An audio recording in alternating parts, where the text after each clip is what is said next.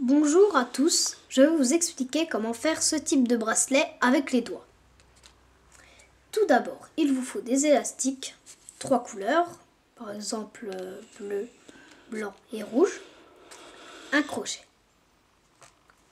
Alors, tout d'abord, vous allez prendre l'élastique bleu. Vous allez le mettre autour de votre doigt et vous allez le croiser en 8. Il faut que les élastiques soient bien droits. Après, vous allez prendre un élastique blanc et vous allez le mettre autour de vos doigts sans, le croiser. Et ainsi de suite. Et avec le rouge. Voilà. Il faut toujours qu'il y ait trois élastiques sur vos doigts. Vous allez placer l'élastique du bas sur celui du haut. Et celui de l'autre côté aussi. Voilà. Et vous rajoutez un élastique. Par exemple, là, la couleur, c'est bleu. Alors, vous allez rajouter un élastique bleu. Montre tout doucement comment tu fais. Là, tu passes voilà, sur un doigt, comme ça. Ainsi de suite. Et après, de l'autre côté, sur l'autre. Voilà, c'est ce qu'on a fait avant aussi. Hein. Jusqu'à ce que ça atteigne la longueur de votre poignet.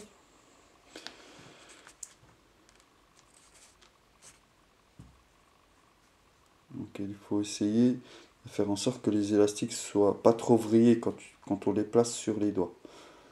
Il faut toujours que vous les, il faut essayer que, que vos élastiques soient droits.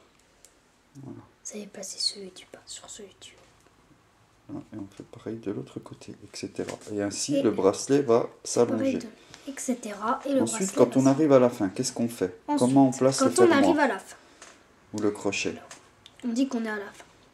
Alors, vous allez placer l'élastique du bas, mais sans, en rajouter, sans rajouter un élastique. Vous allez placer celui du bas sur celui du haut, comme ça.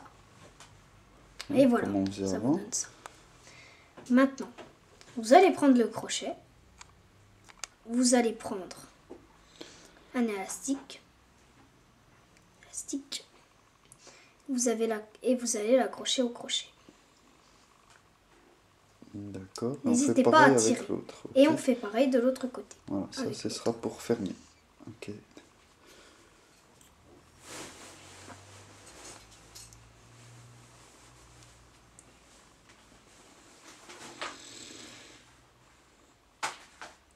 Si vous perdez l'élastique,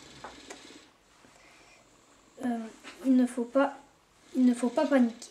Ça ne sert à rien. Vous pouvez le, vous pouvez le reprendre.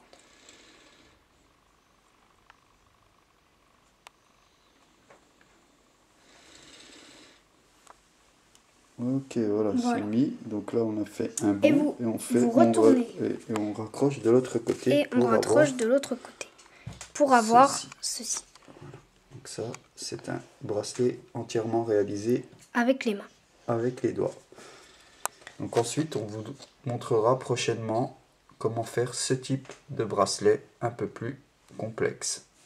Il vous suffira d'avoir soit